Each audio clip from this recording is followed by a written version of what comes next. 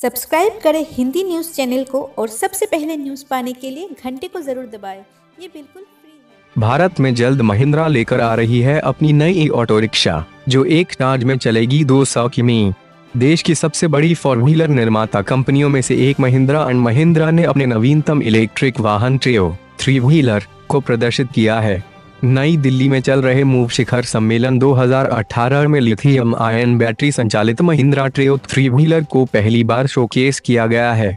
महिंद्रा ट्रेयो दो वेरिएंट में उपलब्ध हैं, ट्रेयो और ट्रेयो योरी ये थ्री व्हीलर दोनों तीन और चार सीटों के रूप में उपलब्ध होंगे।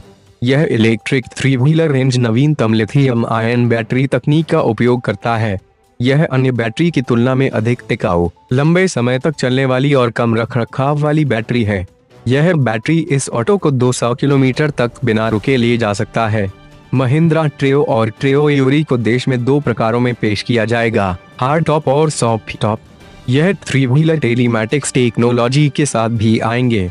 जहाँ तक कीमत की बात करें तो अभी तक महिंद्रा ने इस बात की कोई भी आधिकारिक घोषणा नहीं की है। पर यह अनुमान लगाया जा रहा है कि इसकी कीमत एक से एक दशमलव पाँच लाख रुपए के बीच होगी। दोस्तों, आपको यह कार कैसी लगी? कमेंट्स में हमें ज़रूर बताएँ। किसी के साथ साथ हमें सब्सक्राइब भी करें ताकि इसी तरह की मज़ेदार खबरें पढ़ सकें।